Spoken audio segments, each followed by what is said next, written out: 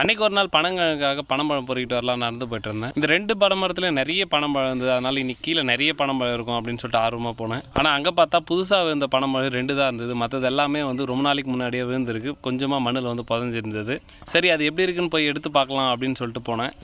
அங்கே பார்த்தா அங்கேருந்து எல்லா பணமுமே முளைச்சிட்டு இருக்கு இது யாரும் புதைச்செல்லாம் வைக்கலங்க. அதுக்குள்ளவே கிழங்கு உள்ளே போயிட்டுருக்கு பாருங்கள் இப்போ வந்து தேங்காய் பூ எப்படியோ அந்த மாதிரி தான் வந்து இது பனம்பூ அப்படின்னு சொல்லுவாங்க. இது இந்த ஸ்டேஜில் சாப்பிட்றத விட பனங்கிழங்கு முழுசாக வந்ததுக்கப்புறம் நம்ம கட் பண்ணி எடுப்போம் இல்லைங்களா? தனியாக கட் பண்ணி போட்டுருவோம்ல. அப்போ சாப்பிடும்போது வந்து இன்னுமே டேஸ்ட் ரொம்பவே நல்லாயிருக்கும். இப்பயும் ஓரளவுக்கு நல்லா தான் இருக்கும். வாங்க சாப்பிட்டு பார்க்கலாம். ஆத்தி என்ன ஜம்ப்பு இது ரொம்பவே உஷாராக தாங்க வெட்டணும். வாங்க எப்படி இருக்குன்னு சாப்பிட்டு பார்க்கலாம். ரொம்பவே நல்லா இருந்ததுங்க. லைஃப்பில் எல்லாரும் ஒரு தடவையாவது கண்டிப்பாக சாப்பிட வேண்டிய ஒரு பொருள் இது. ரொம்பவே இயற்கையானது. இதெல்லாம் யாரும் சேல் பண்ணுறதில்ல உங்களுக்கு எங்கேயாவது கிடச்சிச்சு அப்படின்னா சாப்பிடுங்க. தேங்க்யூ